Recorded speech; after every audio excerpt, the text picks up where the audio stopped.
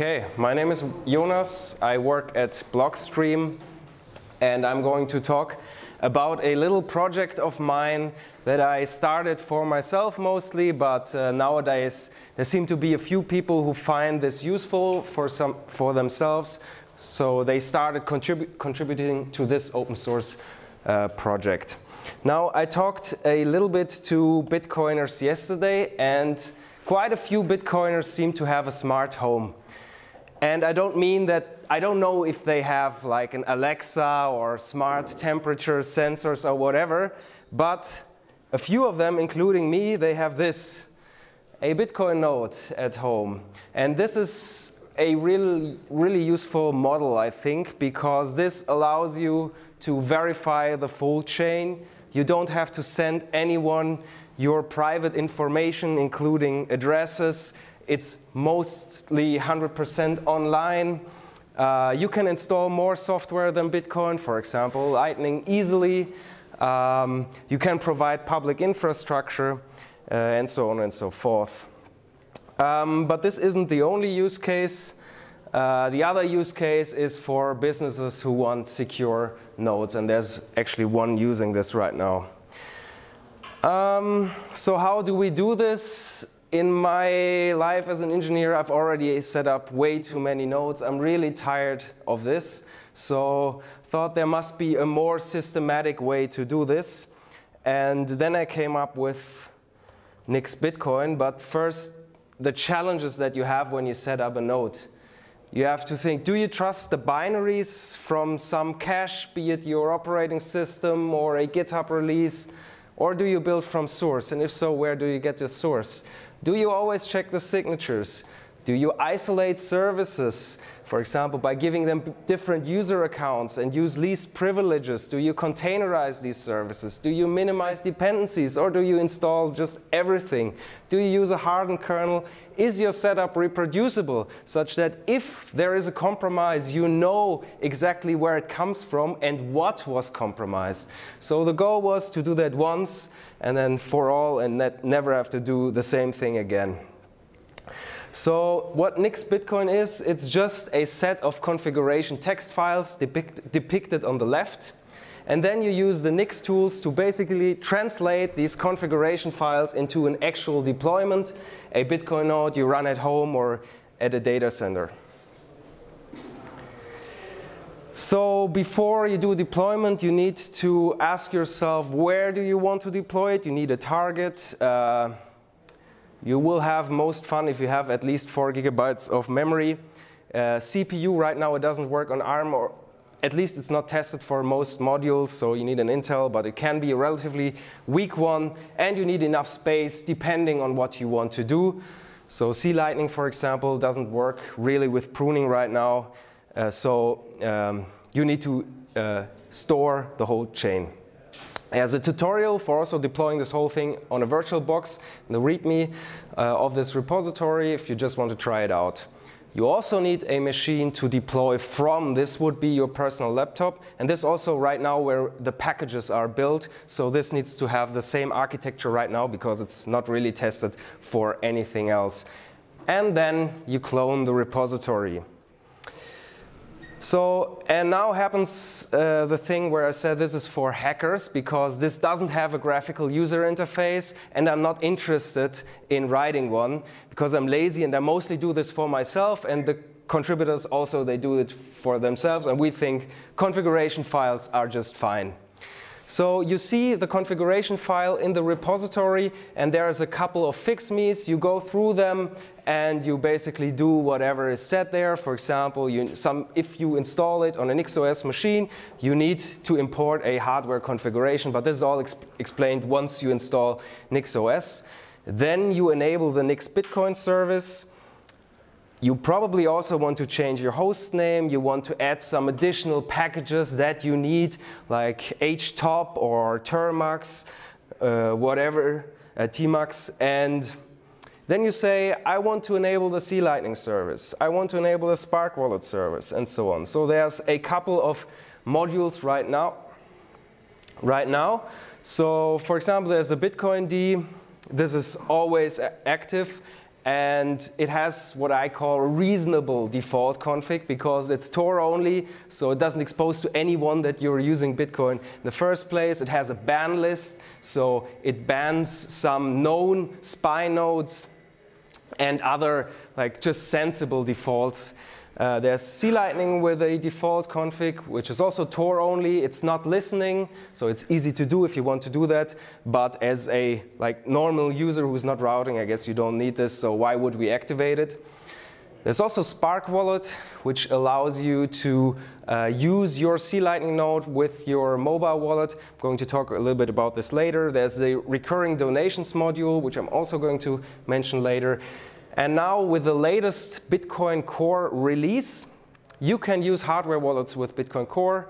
This works with most major hardware wallets. It's a little bit cumbersome right now, but it's still my favorite way to use hardware wallets. Um, you can run, you can just enable the liquid daemon, which allows you to use Blockstream's sidechain, send coins there, use it with confidential transactions, assets, whatever you want to do.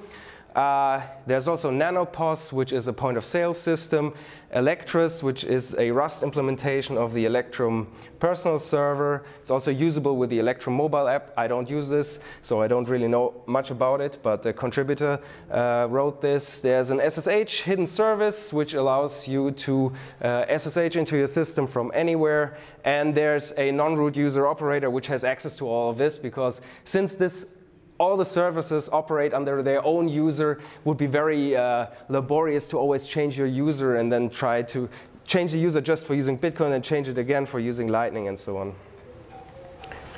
Okay, so I anticipated this.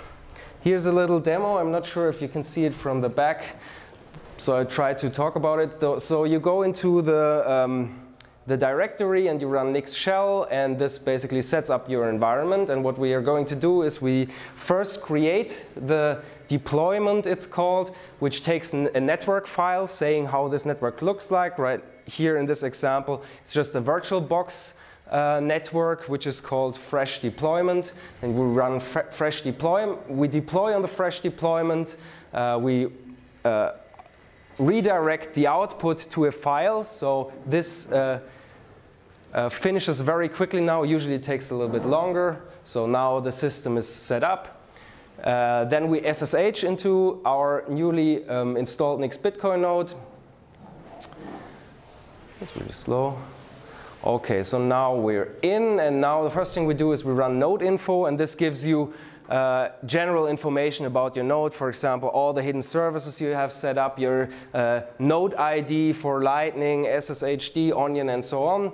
There's also a web index, we call this. This is just an Nginx running there, giving you similar information for some people who you just give your uh, an HTTP um, server to, and they can see, okay, there's the POS, the point of sale service, this is the node I can connect to, and so on. So now we switched into the user operator, and there we see that all the stuff is syncing right now. So there's Bitcoin D syncing, Lightning syncing, Liquid syncing. Think that's basically it. And Spark Wallet's also running. Okay. Um, okay, we've seen this. Just some basic information, mainly hidden services. Uh, okay, so one thing that you can do with it is this, I can control my C-Lightning node using a mobile app. And for that, you just need to enable the Spark Wallet software on the Nix Bitcoin machine in the configuration. You download the Android app, the Spark Wallet app. You use Orbot. This is a, uh, an app that allows you to use Tor. And then you configure it such that uh, it always tunnels requests from the Android app through Tor. You do that once, just for this app, and then this works. It sounds very janky and um, fragile, but actually it works really well for me. And I'm saying, um, so, so one thing is how do you pair this with your Android wallet? So the thing is you just look into the logs of Spark Wallet. This is what you see here, journalctl, Spark Wallet. And then you see a, a QR code that's usually a little bit smaller, so you just scan it and then you're basically connected if you have Orbot set up. Uh, and I'm saying you need to be a Bitcoin Austrian right now because you need to view Satoshi as a unit of account because um, the, uh, the, the um, translation into US dollar doesn't really work with our app right now. And this is an interesting bug because we've restricted the Spark Wallet service to only be able to get out of Nix Bitcoin through Tor. Now, what Spark Wallet does is just queries the Bitfinex API, but Bitfinex doesn't allow Tor requests, or at least you need to go through Cloudflare or whatever. So this doesn't work right now, unfortunately, but uh, the newest Spark Wallet release fixes this. It's not released uh, yet, unfortunately, but um, so Wasabi Wallet is nice enough to provide an API with current prices uh, that you can reach through Tor. Uh, then we have a module that's called recurring donations. So I think this is really an underdeveloped area in Bitcoin right now because there are many people doing great stuff in the Bitcoin ecosystem and many Bitcoiners with a lot of Bitcoin. But somehow these two don't meet. Now there are a few people building platforms for doing this donation stuff, but these are only servers.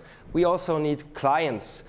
Uh, because you don't want to spend a huge amount or something every year. It would be much easier to just automatically send a small amount every week. And since we have access to the whole system, uh, we can do that very easily in Nix Bitcoin because we can install a cron job or in our case a systemd timer.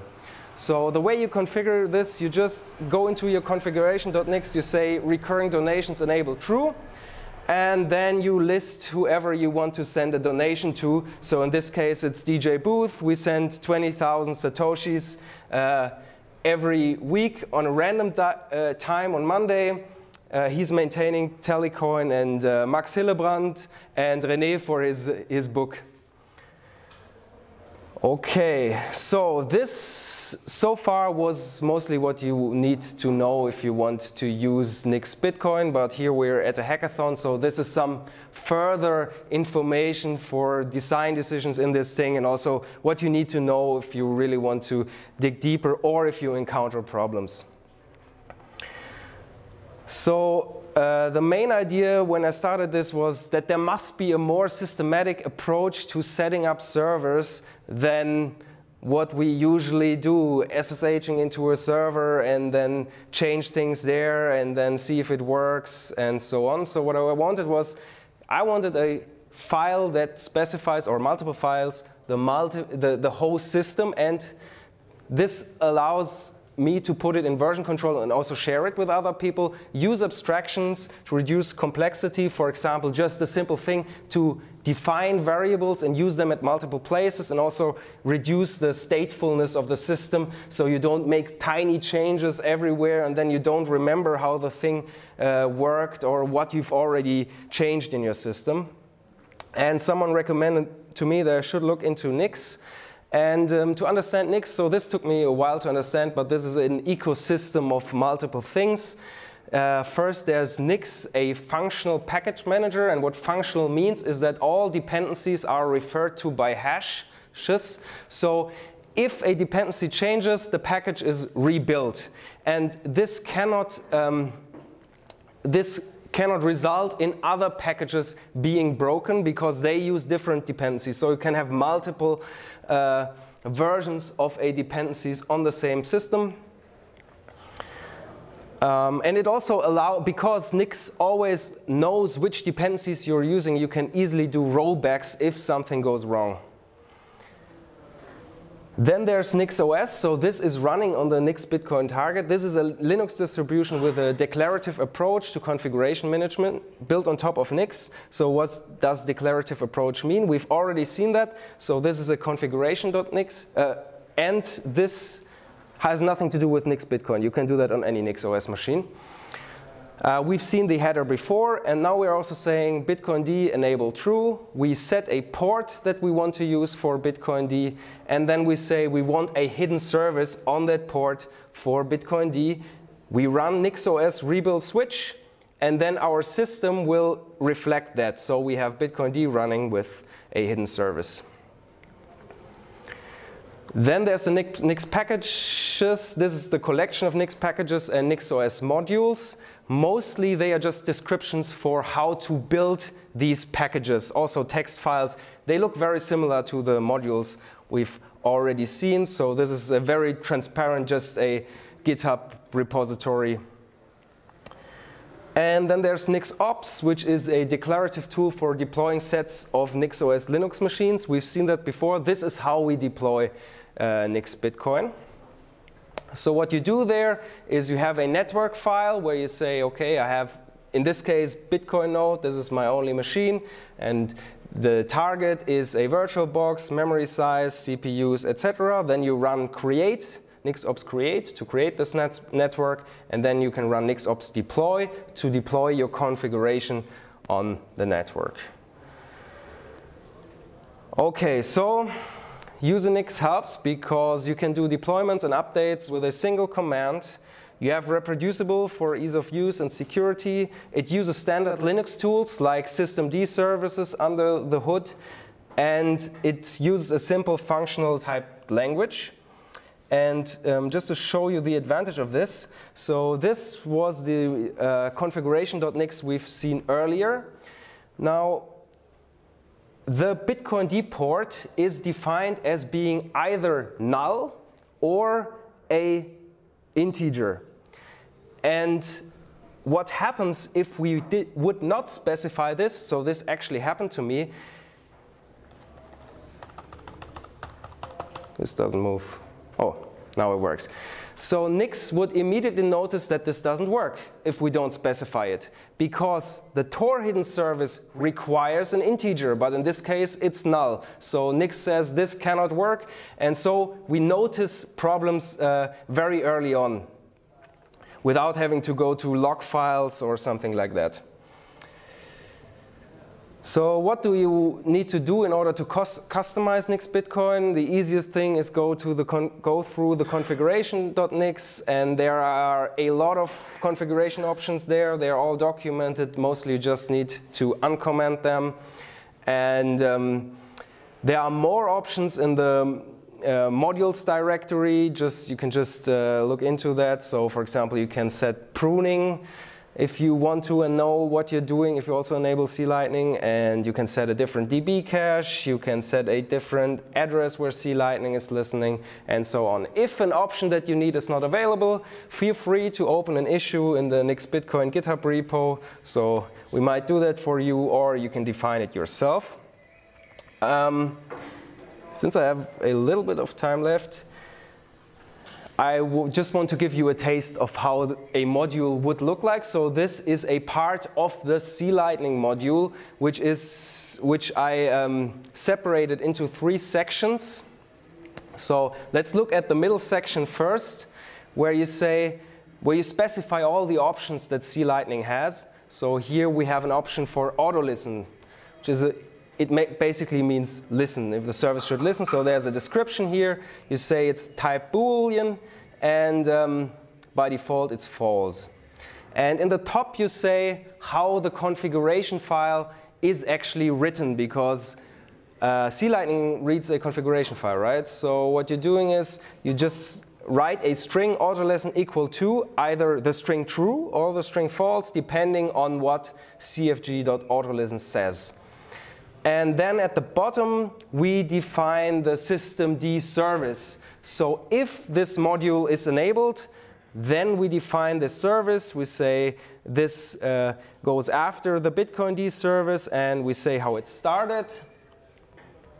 Exactly, we give it a Lightning directory. So these uh, things um, here in the braces, these are basically Nix variables, and you run it with the user C-Lightning. Okay, in conclusion, the whole Nix Bitcoin system is relatively flexible. You can use it as a personal wallet, as I do, or as a platform for Bitcoin, because you can also build stuff on top of it. For example, the recurring donations module and other layer two protocols uh, that we want to see. For example, we are interested in adding C Lightning plugins. We don't have any right now. Also, more on-chain uh, privacy with automatic coin joins and so on and so forth, watchtowers, whatever, custodial wallets for your friends and family. Uh, so, um, please develop more software because that is what we want to add to Nix Bitcoin. And if you want to try it out, just go to our GitHub repo, follow the tutorial. I'm here to help. You can try it out on VirtualBox, and let's open some channels. Thank you. I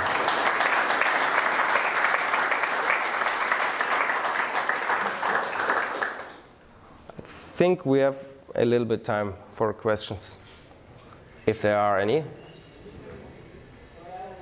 No. Maybe a dumb question as a mathematician. Why using Nix and not Docker, for example? Uh, because Docker solves. Uh, ah, yeah. Why use Nix and not Docker? Docker solves a different problem. Docker containerizes your service, and we do that as well, but not with Docker. We use namespaces, Linux namespaces, and C groups, so we do that a little bit more manually. What so Nix are many different things, but I view Mix, Nix more like an Ansible replacement, if you know that. It's more like a, I use it as more like a DevOps tool that tells you how to structure your system. You can also write a Docker Compose file, but I think it's much less powerful than Nix because it's just a flat file without, it's not a programming language for one. And um, you still don't know how your image is built. I mean, it doesn't have all the nice dependency features that Nix does. But you can use Docker in Nix, and we do that for some things. Yeah. So you said about reproducible builds. So uh, it's uh, reproducible here is uh, as in uh, uh, versions or yeah, I so. Or binary. Yeah, he's asking what reproducible means. Does that mean binary or just versions? And it's the latter. It just means versions. I think it's the wrong term. It, I should change it. Possible to uh, get a binary reproducible build? Yes, of course. Actually, I found a website where they say it would work that 98% is already reproducible in, in Nix, but not everything. But I guess it's the whole ecosystem is also uh, working towards that direction because, of course, everyone wants reproducible builds. Just, just nobody uh, made this, this yet. Yeah, exactly, because they need, I mean, software needs to be changed and maybe not everyone is as interested as we are in these things. But I, I shouldn't say reproducible here because reproducible in the Bitcoin world means something different than in the Nix world. Okay, no question. Ah. Is there an overlap with Jameson Lopp's Bitcoin core config generator? Are there specific configs that you would recommend for security purposes? Um, so the I would recommend the default the defaults that we already have there. so I mean, for security purposes, it depends what you mean by security. I mean, everything should be secure in Bitcoin Core, otherwise it would be really bad. But there are some options that are turned on by default that might introduce a denial of service vector, for example, Bloom filters and so on, and we've turned these things off. You have Yeah, yeah, because it's not really needed for us and the danger is just too high, I think. Okay, cool, then thanks again. Come to me if you want to learn how this works.